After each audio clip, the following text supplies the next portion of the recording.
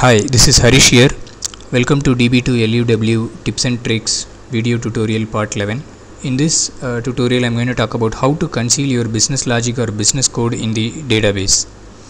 The problem here is the business logic in the database resides as plain text files.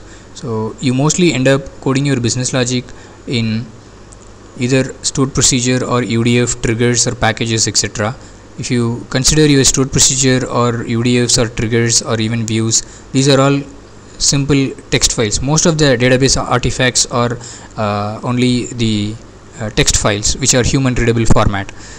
Uh, there are um, already mechanisms in place in the database like authorities privileges label based access control LBAC uh, row and column based access control a new feature introduced in DB2 version 10 and above so these kind of uh, mechanisms are already in place but they will really help you in terms of securing the business data.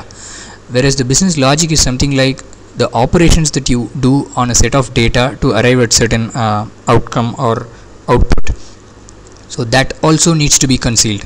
So those kind of uh, things or SQL codes are actually plain text files. There are no binary equivalents for them. So if you look at uh, like a C++ application or C application or a Java application you have your source code and you have your binary code. So once you compile the source code you get the binary code. The binary code is pretty much in a unintelligible format. So you can distribute it uh, or you can put it in FTP server or you can hand it over to the deployment team uh, without running the risk of exposing your business logic so a successful intruder should not be able to infer the business logic even if he somehow gets the artifacts right? So that's how uh, it should be. Whereas that's not the case in in the SQL code that we are doing. Like when we generate the DDLs or uh, this thing for deployment it's not that way right? The solution is obfuscation of DDLs obfuscation is nothing but masking your SQL code uh, in simple English it is like transforming the plain text to unintelligible plain text. So when we look into the examples going forward you will exactly know what what is that I am referring here. Okay it will be more clear when you visually look at the uh, unintelligible plain text or obfuscated text of the stored procedure or the UDFs like that. Now what are all the objects that are supported? Stored procedures, UDF, triggers, views, packages and uh, federated objects, uh, certain uh, statements in federated objects are also supported. Uh, to get a detailed list, exact list you can refer the info information center. Uh, so once the stored procedure or the UDF is obfuscated you can distribute it uh, or deploy it in a safe manner. You can send it over email to some other team you know or you can upload it into your FTP server uh, without much of worry right? Because it, it is not in a human readable format. How to obfuscate? So that is our next thing. So we have three uh, methods. So one is using the db2look command itself with the wrap option. Another one is using the function dbms underscore ddl dot create underscore wrapped function which takes an input string. The other method is also using another function dbms underscore ddl dot wrap that is also taking a input as a string. The difference between these two methods uh, or the, these two functions is the create wrapped will actually uh, create the procedure in the database as a obfuscated uh, procedure okay? Whereas the wrap function will will not create the object in the database. Instead it will just throw the output to the uh, terminal or throw the output as a output file okay? And these both the uh, functions take a argument string argument. The string argument what you need to pass is the exact create stored procedure statement itself or the create uh, function statement or the create trigger statement. So you have to pass it as a huge string as a single line huge string you have to pass it to these functions and they will uh, give you an output of obfuscated text. Let's quickly run into the examples. Okay. so here uh, I am connecting to a test database. I am creating a table which is holding ID like an employee ID and a salary. And I am running a stored procedure dot SQL which is like I am creating a stored procedure. And I am running the uh, syscat dot routines. So i'm querying the catalog tables for that particular routine. So so even if a user who is having access to the catalog table can easily get our uh, uh, business logic sensitive business logic he has access. So let's quickly run this. Connect to test create table. Okay so connect to test is successful create table is successful. This is a stored procedure that i am talking about. So it just takes couple of arguments employee number and a rating. So if the rating is 1 you double the salary. If the rating is 2 you triple the salary. For any other rating the salary remains unchanged. And i am querying the catalog table syscat.routines the column is text. I can get the full salary code here. Uh, the update salary stored procedure code here. Okay connect reset. Now this is the problem right? So what is the solution for this? Use the db2 look here okay? So look at the important option is hyphen wrap. Look at here. The hyphen wrap. Okay? So before that first we will without the wrap option we'll run. We'll see how it is.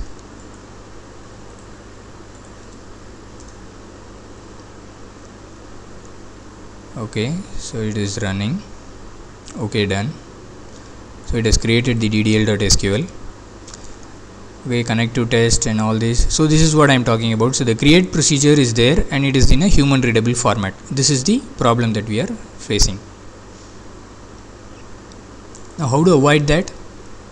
I can use db2 look with the wrap option. I'll run this now. So now it is running. Okay done let's view the file now. Look at the definition of the stored procedure here. The the syntactical things is kept here like the definition uh, related things like the stored procedure name the input arguments everything is in place. The body of the stored procedure is obfuscated. This is what i'm saying like instead of a human readable uh, form it is some kind of a masked output or obfuscated output. So this is wrapping up the stored procedure so the keyword here is wrapped. And also look at this keyword.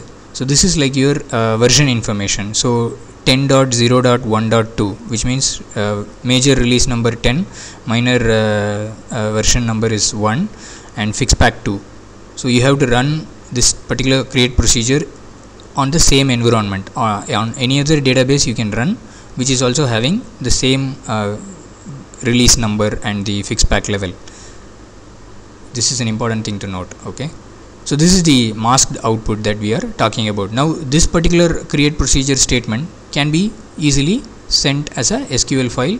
Even you can send it as over an email or upload it into an ftp server. You can be somewhat confident about yeah so nobody is going to make anything out of this right? Even the deployment team they need not know the exact logic of the stored procedure right? So that's what is so cool about this tool okay so that is the uh, wrap option that we saw. Okay now what i'm doing is i'm connecting to the mask database. This is another database i'm having. I'm uh, listing the uh, tables uh, and i'm again querying for the cat routines. And i'm running the ddl.sql which we generated with the wrap option right? And once i do that after that i list the tables. So here i should find table a and uh, I am querying the routines okay? Let's see uh, what happens okay?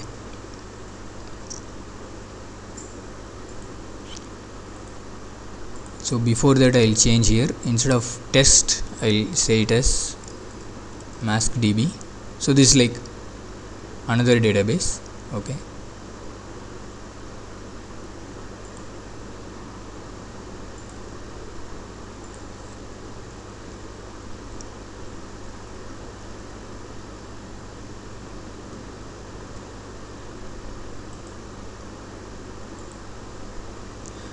so connect to mask db. the table is not there. The procedure is also not there. I have connect reset.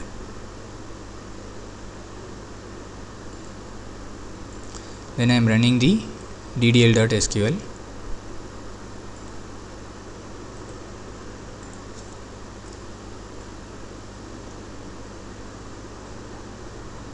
okay.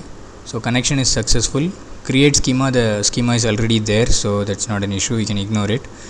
Create table is uh, created and the salary. See here when I am creating the procedure I am only using the masked code okay?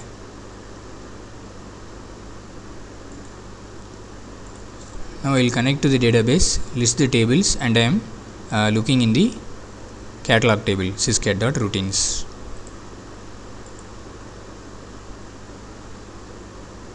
okay so I can find here. The table is there. The procedure is also there but I cannot make anything out of the procedure. Okay. So the procedure is is good like okay so we are just going to test the procedure whether it executes in a proper way. So I am creating three records with uh, employee ID 100 whose salary is 1000 employee id 200 salary is 2000 employee id 300 salary is 3000 so when i call the update salary method i am calling it for employee id 100 i am passing a rating 1 which means it will double the salary. So the 100 should become uh, 2000 the salary for the employee id 100 should become 2000 copy this and paste it here see here so 100 is 1000 here. So the employee id 100 was having salary 1000 once i call the salary so uh, the update salary procedure id 100 salary became 2000 so the procedure is executing fine even though if it is in a masked format. And next i am uh, using the same db2 look for mask database okay? And I am generating this time I am not using the wrap option because it's already wrapped right? The stored procedure is already wrapped. So now I, if I generate the db2 look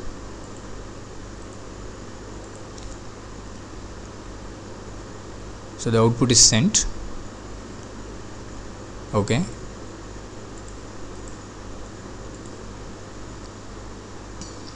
Look at here. So even though I have not used the wrap option in the db2 look command since it is already the object is wrapped in the database it's giving me the wrapped output okay? So that's now let's go back to the original database. So there I am querying the routine uh, in the catalog uh, tables. So the, the code should be available there. So after that I am dropping the stored procedure and I am checking for it again okay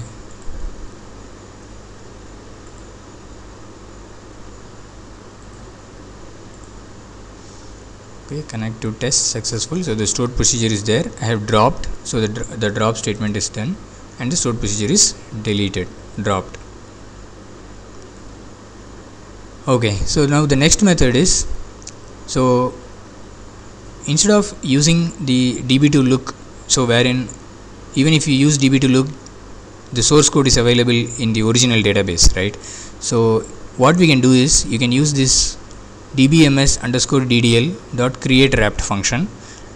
I have to pass the entire create procedure statement as a string argument to this function right? The create procedure language SQL everything I need to uh, pass here right? Begin declare end.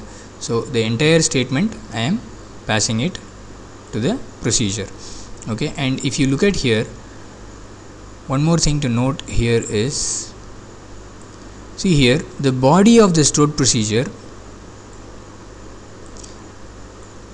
is having single quote so this will create a syntactical problem. So you have to escape that particular thing right? So what you can do is like this double single quotes so that will solve the issue for you okay? So let me just create the stored procedure and I'll take the uh, query the catalog okay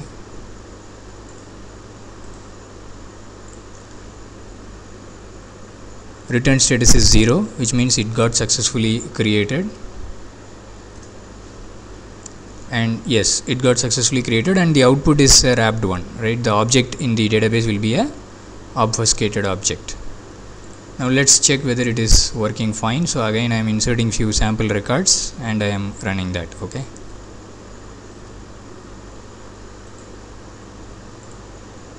So the insert all got successful and this time I am updating the salary I am doubling the salary of employee ID 200 yes. So 200 is 2000 here 200 is 4000 here. So the procedure is executing uh, fine right?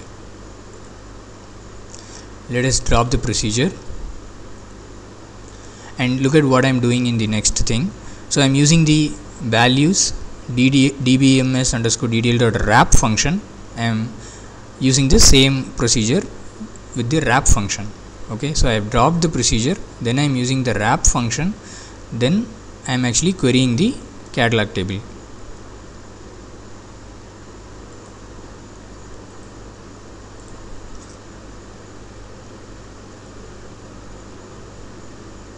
Okay the procedure got wrapped so the procedure got dropped okay. Then I'm using the values uh, stuff right